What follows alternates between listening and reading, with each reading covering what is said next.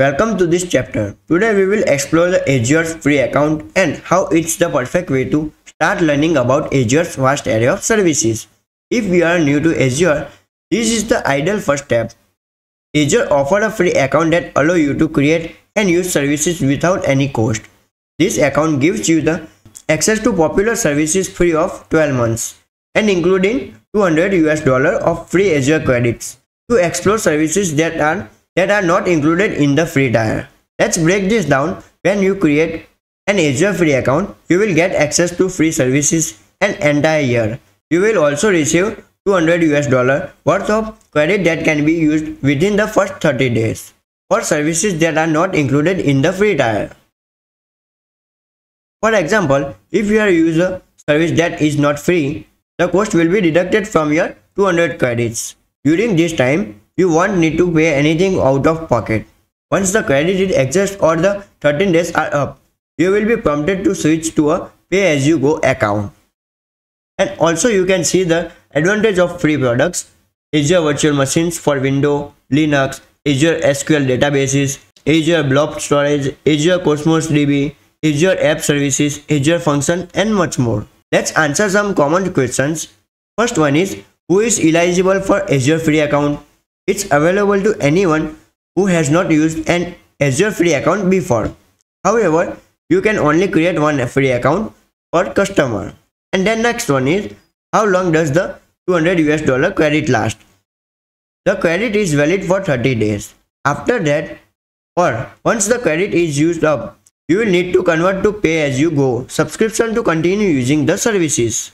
And don't worry, if your credit runs out, you will get a notification to convert your account even after switching to pay as you go. You will be only be charged for the services you actually use. And also you can see here the FAQs, you can read them. And here's what you will need to sign up for the free account. A Microsoft account or a GitHub account. Both of which are free to create. A phone number for verification and a credit card or debit card. This is not used to charge you but for identity verification purposes. Azure also provides detailed FAQs to help you understand the process better. It's worth reading through this to clarify any doubts about the 200 credits, the 12 months free services and account setup. So, to wrap up, creating an Azure free account is the best way to get started with the Azure. It's a cost-effective, straightforward and gives you the opportunity to explore Azure service at your own pace and welcome to this chapter where we will talk through the process of creating an Azure free account.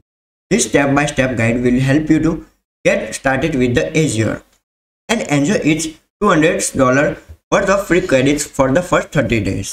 To begin, I will navigate to the Azure homepage and click on the Try Azure Free button. To proceed, you will need a Microsoft account. If you don't already have one, don't worry, you can create one easily. Now that my Microsoft account is already created, so I will enter the required details for my Azure free account. This include my first name, last name, email and phone number, etc. And Azure requires phone number verification as a part of the process. And you will choose the option to receive a text or a call for a verification code. Enter the verification code and click to the verify. Next, you need to provide a address and state. Then scroll down agree the customer agreements. If you would like, you can explore other optional settings before the proceeding, then click to the next. Azure requires identity verification through a credit card or a debit card. Don't worry, this is just a temporary authorization to confirm your identity. You won't be charged unless you switch to pay-as-you-go pricing. You will enter card details, scroll down and click sign up to create your account. Now, I am not creating any account because I have already created an account. Now for most of you, you will be directed to your Azure free account with the 200 US dollar credits.